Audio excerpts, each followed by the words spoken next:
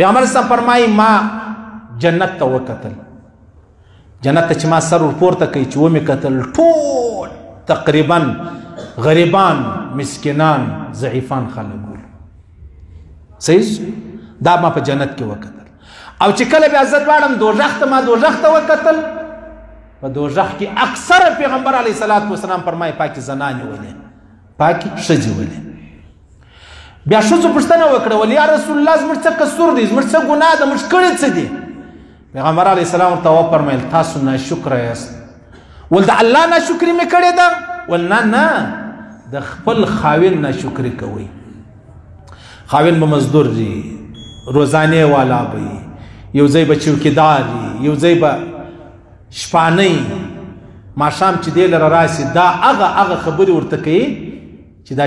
شپانه و مزدور و ملازم و ارڅه وای و یاره کش کې مرګ الله را کړوي نه ته چې تزما پر سر ناشته دا څه کوي دا شکر نه ادا کوي پر خاوند باندې څونه ډیر یعنی تر ټول زیات کیسونه مړه د لمانځو د زکات او د روزي او د حج او د تبلیغ او د جهاد نه راځي ټول د شذو مسلې راځي مولوی صاحب د کور والا سره دومره په عذاب یم دومره تنګ یم یو وای درې میاشتې کېږي چې زما کور والا د پلار کره ناسته د نه راځي بل وای پنځه میاشتې کېږي چې زما کور والا د پلار کره ناسته د نه راځي منم په نارینهو کې بد خلک ستا منم چې نارینه د ښځو سره مطلب تر یو حده پورې ښه نه کوي منم څوک څوک لیکن په ښځو کې نوې فیصد چې دی هغه په دا بلا باندې اخته دي د خاوند ناشکری او د پریدي میړه بیا شکر گزاري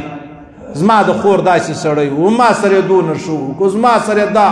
داسې من مستیا راته وکړه داسې ډوډۍ راته وکړه داسې ښه را سره کول زه به در قیامت نه کمیر دا غریب چې خپل وینه ور باندې وخوړله دا ورته وایي تاسو ما سره ګر سره کړي څه دي الله رسول فرمایي په زنانو کې دا خبره چې دا اغستا د زنانو یو بل ډیره لوی خامی چې دا هغه د عزیزانو چې تر چوکټ واوښتله بیا دا هغه صفات نسی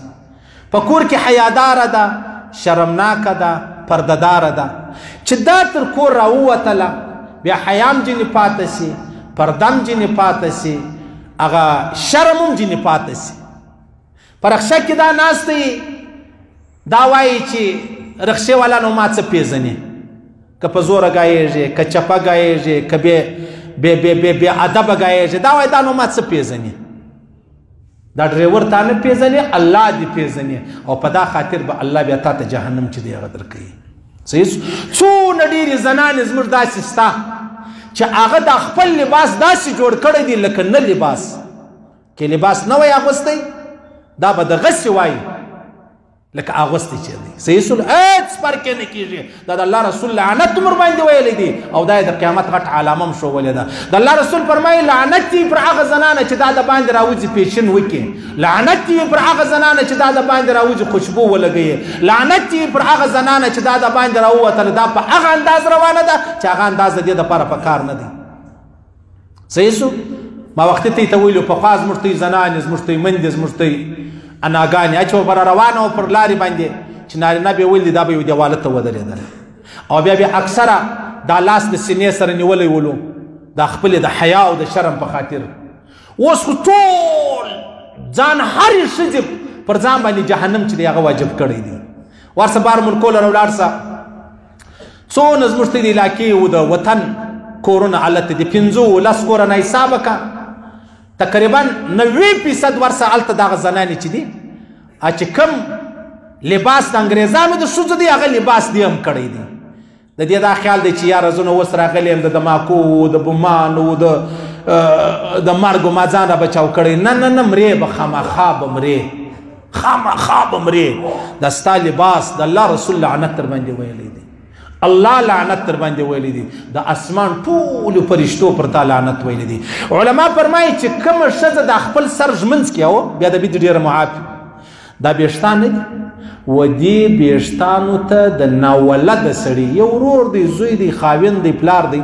اخو معلومه ده د ناولد سړی ناولد سړی بنو لیا ور دروشم زه د اخو مشتي خو د کور سړی بول باز د باندې سړی به زګر سن شم ته لیوره دوریندار چې په کم برش یا ژمنځ باندې سر ژمنځ کړی دی په دغه کې هغه بیرستان بندیا د دغه لیوره و د بیرستانو ته قتل داسې حرام دی لکه د خپل ورینداري و سر ته قتل حرام دی په خو خپل مرته زنانې وي هغه ډېر محترمې وي یو لپاپا وکڅوړه به جوړه کړي او بیا به د بیرستان وزي مطلب ټولول پټول بیا بیا وزي په خاور پټول اوس ورور علایده کاروبار سلو ورسه خلک ګرځي وروره د سر بیرستان د زنانو غواړي کلو یې په څو دی به په ضرور پي دي علایده دا کاروبار چې دی هغه جوړ کړ د الله رسول پر دای زنانو لعنت ویلې دي صحیح سلو بیا څو در څو به ته ژوندې پنځه ورځې لس ورځې پنځوس ورځې به ژوندی یو ورځ هغه را روانه ده چې تا به زقندن یې زقندن صحیح سولو شپې راپور څنګه به رسې چا میسج راته کړی زموږ ډېر ښه ملګری دی لورې هلته بیماره وه ډېره بیماره وله ډېر خوارۍ ورسره وکښلې ډېرې مطلب علاجونه په وکړو بیا میسج را کړی مولید څه چې هغه وفات شوله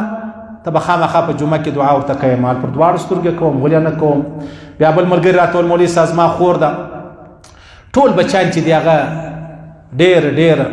د افسوس خبر ټول بچان یې کینسر دي چار بچی پیدا کیږي